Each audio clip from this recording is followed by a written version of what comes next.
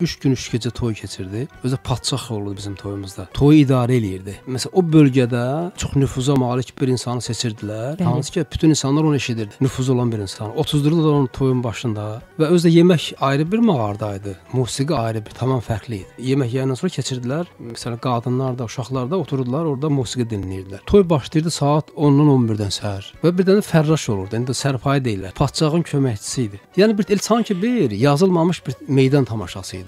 Toylarımız əslində bu qədim tarixi var. Yəni belə-belə yaranmamışdı. Çox maraqlı toylar keçirdi. Hətta mənim yadımdadır. e, Mən hardasa bir 10 yaşım vardı. Bizim kəndimizdə bir qohumumuzun toyudu. Arif Babayev, Əhsən Dadaşovla toya gəlmişdilər. 3 gün mən o, mağaradan çıxmadım bayıra. Orada nələr oxumadı Arif müəllim. Əhsən Dadaşov müşahidə elə iki böyük sənətkarı mən canlı olaraq görürdüm, səslərini eşidirdim. Və o elə orada mən qərar qəbul elədim ki, öz özümə, bax mən də Arif Babayev kimi bir xanəndə olacağam.